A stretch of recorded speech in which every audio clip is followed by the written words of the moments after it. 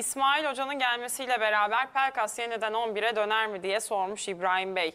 Yine Can Bey'in bir sorusu var. Üçlü savunma sistemi İsmail Hoca ile beraber devam eder mi? Nasıl bir oyun planı oynatır? Sorular böyle. Böylece Bağlayayım. değerlendirmeyle de Şuradan- başlamış Şuradan olalım. bağlayayım tabii Löv'le bağlayayım. Çünkü beni heyecanlandıran bir proje. Ben İsmail Kartal alıyorum sen şu an Ya Löw diyorsun. tabii ama e, iş- yapıyorum. işin final kısmı benim için çok önemli. Çünkü e, bu bir e, Almanya'da Bundesliga'da çok uygulanan bir yöntem. İlk başta takip yani bir mentor e, teknik direktör ilişkisi. Ondan sonra orayı ele almak. 4 ay Löw Fenerbahçe'yi inceleyecek ve burada bir kredi sağlamış olacak. Aslında İsmail Hoca üzerinden. Yani İsmail Hoca'yı da tebrik ediyorum. Gerçekten başka bir Fenerbahçe kim hangi Fenerbahçeli bunu yapabilir? Yani bile bile e, 4 ay sonra. Ama işte Ergin Aslan'ın dediği işte Löv'le ee, yazın da gitti Fenerbahçe olmadı ama bu da biraz bana şeyi hatırlattı. Böyle bazen Eminönü'ne falan gidiyorum. Pazarlık yapıyorum orada esnafla ama yanlış yerde pazarlık yaptığımı hemen anlıyorum Tahtakale'de falan. Yani onlar bizden daha kurt. hani Oho, bazen tabii tabii. Tecrübeyle sabit Tabii ama, ama yani bu işler. bazı yerlerde bu çok oluyor. Mesela şunu beğendim şu malı. Ondan sonra bu ne kadar? İşte 20 TL ediyor. Ondan sonra neyse 15 olur mu? Olmaz diyor. Neyse iyi, hadi iyi hayırlı işler diyorum. Çıkıyorum. Tam kapıdan çıkarken aslında kulağım burada. Ya üstad bir dur diyor. Ne verirsin en son? Hah diyorum tamam gel dükkana. Tahtakale'de bunu yaptığın zaman hadi kardeş güle güle diyorlar zaten de. Yanlış yerde o pazarlığı yapmayacaksın. Tahtakale'de falan yaptığın zaman öyle dükkandan arkaya bakmadan çıkıyorsun. Fenerbahçe özelinde ise Löv'le ilgili belki bu pazarlık yapıldı. Ama bazen de malı o kadar çok beğeniyorsun ki dükkanda o dükkanın kapısını açıyorsun. Hadi görüşürüz diyorsun ama lan neyse kaçırmayayım onu diyorsun. Fenerbahçe özelinde Fener yani Löw özelinde de Fenerbahçe bence buraya doğru gidecek. Artık so- son çıkış Löw çünkü burada.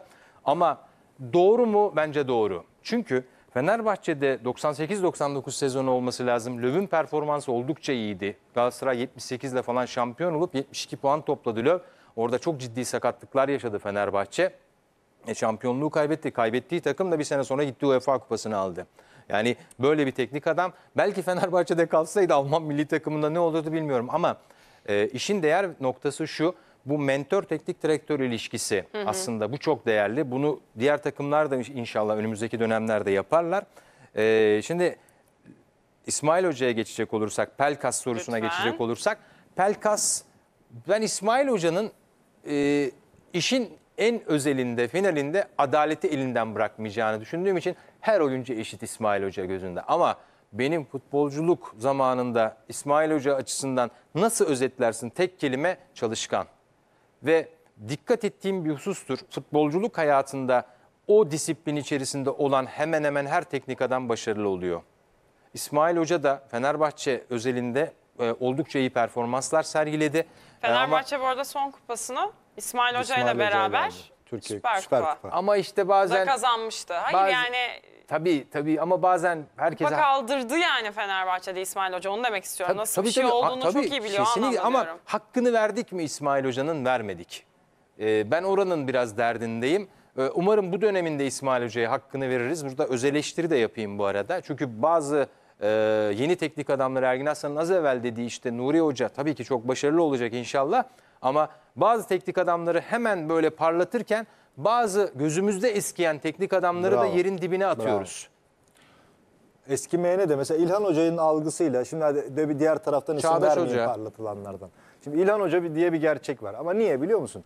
Gerek medyadaki ilişkileri, gerek böyle hani tarzı, tavrı biraz şey abi yani o onun parlatılmasıyla, ekranlarda dolu dolu konuşulmasıyla böyle cilalı olan bambaşka bir yere gidiyor öbürlerinin hikayesi. 10 kişi bakıyorum adamla ilgili tweet atıyor. Ya e, geçen yazıyor. sene bir yerli Klopp hocamız vardı. Yani. İsmini vermeyeceğim şimdi ama hani proje üstüne proje geliştiriyordu. Şimdi kimse adını anmıyor.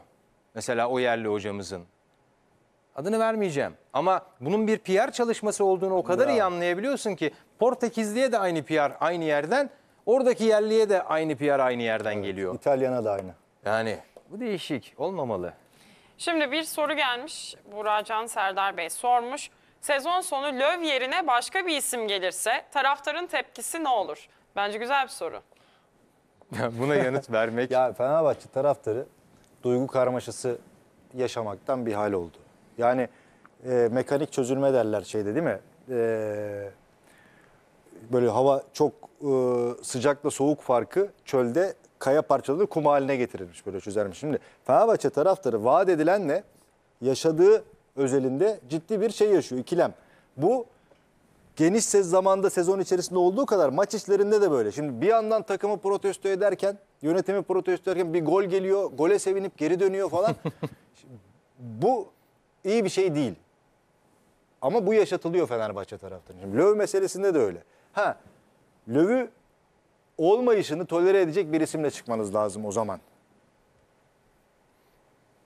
Var mı? Çok üst düzey birkaç tane isim var. Ama şeye katılıyorum Serdar Kelleci. Ali Bey'in 11.5 atma şansı kalmadı artık. Yani son şansı attığı zaman 11.5 iyi bir hedef vurmadır. 12 atması lazım artık. 11.5 kalmadı. Herhalde burada da yoğurdu üfleyerek e, şey yiyecektir diye düşünüyorum. Yine sorular var. Ee, İsmail Hoca'nın çok fazla şaşırtacağını, ayrıntıya gireceğini en azından yarın için düşünmüyor. Bir izleyicimiz demiş ki ileri uçta olsa Serdar Ferdi çıkarsa şaşırmam. Sait Serdar, Ferdi. Ben de sanmam. Ben şaşırırım ya. Peki Yusuf Bey demiş ki Pereira'nın özgüvenini kaybettirdiği oyuncular kendini bulacaktır. Takımın gerçek karakterini göreceğiz. Konferans ve Türkiye Kupası finali görecektir.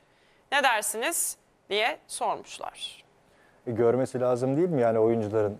Geçen programda da burada konuştuk. Biz Fenerbahçe başkanı yönetimi ve teknik adamlara eleştirilerini dolu dolu yapıyoruz da bu oyunu oynayan kişiler futbolcular. Sahada bunlar oynuyor. Fenerbahçe'nin Mesut Özil aldığı günkü havaya dönelim. İmza törenine dönelim değil mi? Türk futbol tarihinin en, en havalı imza töreniydi. Mesut beklentisi. İrfan Can için 10 milyon eurolarla Galatasaray'la bir şeyin içine girdi. Tabii. Ee, serüvenin Mert- aldı. Mert Hakan Mert. Hakan kez- keza yine öyle. Sosa'nın şeyden gelişi, Trabzon. Trabzon'dan. Hangi oyuncu bunun karşılığını dolu dolu verdi? Şimdi siz teknik adamsınız. İstediğiniz kadar idmanda 3-5-2-4-4 kondisyon yükle, çalıştır, pozisyon tekrarı yap, duran top. çalış- Bunların hepsini yaparsınız. Ama şimdi o oyuncu saha içerisinde o özveriyi, o reaksiyonu gösteremediği zaman zaten ne teknik adam kalıyor orada ne başkan eleştirilerden kaçabiliyor. O yüzden bence Fenerbahçe'de önemli odaklardan biri Fenerbahçe futbolcusu biraz rahat hareket ediyor. Diyor ki ya zaten hedefte teknik adam var. E bir de hakem de konuşuyor zaten yönetim. Bir alan, konfor alanı oluşuyor Fenerbahçeli futbolcuya bu sefer. Yani o Fenerbahçe taraftarının kulübünün futbolculara gösterdiği özveriyi, sevgiyi, fedakarlığı sahada futbolculardan Fenerbahçe camiası alamadı. O yüzden futbolcular biraz daha burada bir depar atıyorsa iki depar atacak gerekirse. Çünkü gerçekten Fenerbahçe takımının Fenerbahçe kulübüne taraftarına borcu var. Bu borcu ödemesi lazım bence Hiç sahada. sadece teknik adamla bitmiyor. Olur mu? Asıl usu unsur futbolcular. Yani o borcu henüz ödeyemedi Fenerbahçeli futbolcular. Tabii. Mesela Vitor Pereira gittiğinde de taraftar hatta bizler de bir tepki reaksiyon maçı bekledik aslında ama sanki o tepki oyunculardan bir türlü gelmedi. Ne dersin Serdar? E, tabii şimdi hocalarımıza haksızlık etmek istemem ama e, şimdi bir Önder Hoca'nın Beşiktaş'a dokunuşunu göremedik maalesef maalesef Göle Sayın Göle hocamızda. E, burada Fenerbahçe'nin biraz Fenerbahçeliliğe ihtiyacı vardı onu söyleyebilirim. Yani ben bunun dozajı aşmamak kaidesiyle her takımda olması gerektiğini düşünüyorum. Ama oradaki dozaj bazen sınırları öyle bir aşıyor ki hani Fenerbahçelilik üzerinden bu şeye dönmüş oluyor. Fenerbahçe'yi en çok ben seviyorum, öbürkü ben seviyorum, ben seviyorum dedikçe hani bu iş fazla sevgi ya benim olacaksın ya toprağına kadar gidiyor. Bu çok tehlikeli bir şey her takım için söyleyeyim. Ama İsmail Hoca'nın Fenerbahçeliliği de o dozajdaki Fenerbahçeliliktir. O Fenerbahçe kültürüyle konuşmasını bilen, adab-ı muaşereyi çok iyi e, yapabilen ve bunu da oyuncuya sirayet ettirebilen bir yapıdan bahsediyoruz. Dolayısıyla ben e, futbolcular özelinde de şöyle bir e, tezahürü olacak diye düşünüyorum. Şimdi futbolcu ya kokuyu beğenmedin, onu beğenmedin, hep ondaydı, bundaydı, şundaydı. Hani bu bizde de hoca bana taktı vardır ya hani Evet. okulda okurken babana gidersin. Oğlum ne oldu bu karnenin haline? Ya bu hoca bana taktı. O o da taktı. Ulan hepsi mi sana taktı? Hani artık bir taraftan da hoca ile ilgili bir problemi olmaması lazım futbolcuların. Bunu da sahada görmemiz lazım. İsmail Hoca buna zaten müsaade edecek bir antrenör değil. Yönetime raporunu verir. Çat çat çat orada kadro dışlarını bile izleyebiliriz Fenerbahçe'de önümüzdeki dönemde. Evet. Bir de fazla e, oyuncu takımı haline geldi Fenerbahçe. Burası teknik direktör takımı olmak diye bir şey vardır ve bu çok önemlidir camialar Tabii. için. Ali Bey Pereira konusunda en başta çok iyi yaptı. Yani Ağustos, Eylül aylarına dönelim. Orada bir anahtar teslimi hali vardı Pereira'ya. Tabii. Pereira'nın otoritesi artık tavandaydı, yukarılardaydı. Ne, ne zamanki yönetim kanadından da Pereira eleştirileri, Fenerbahçe işte medyada çok fazla eleştiriler. Tabii. Bu oyuncuların da ya nasıl olsa bu gidici düşüncesine kapıldılar. O yüzden şu an yapılması gereken 6 aylık mı olur, daha mı uzun olur bilmem. Çok net kartlar açık bir şekilde İsmail Hoca'ya buranın teknik direktörünün olduğu ve oranın hakim olduğu hissettirilmeli. Tabii yani 6 aylık sürecin ardından neler gelecek, neler getirecek, neler yaşanacak onu da kestirmek çok kolay değil. E, Burada ama çok güzel bir dayanışma olacak. İsmail Hoca her hafta konuşacak Löv'le beraber. Hani benim tabii şu an böyle kesinmiş gibi yanlış bir, e, anlaşılmasın evet, ne olur ama var ama hani yani beni şu bu benim hayal biliyoruz. noktam. Başkan Ali Koç'un kendi açıklamasını biliyoruz. Gidip görüşeceğim ancak iyileştim dedi kendisi. Geçmiş Ki hemen olsun de geçmiş arada. olsun diyelim. Hemen de Almanya'ya gitti. E, tabii ki beklenen bir löv görüşmesi var. Hani ne çıkar Olmaya ne olur bilir. onu elbette takip ama hani edeceğiz. şu anki gidişat üzerinden sadece yorumluyoruz.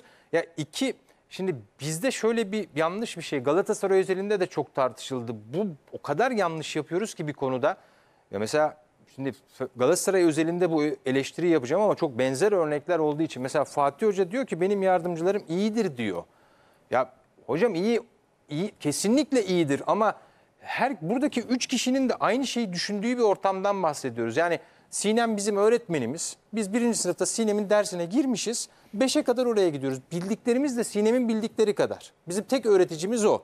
E Fatih Hoca mesela yardımcıları konusunda. Hocam senin en çok sen yani bu adamların en çok ıı, en kariyerli hocası sensin. Şimdi ama İsmail Hoca Löw ilişkisinde iki farklı kafadan bahsediyoruz. Ben bunun çok değerli olduğuna inanıyorum.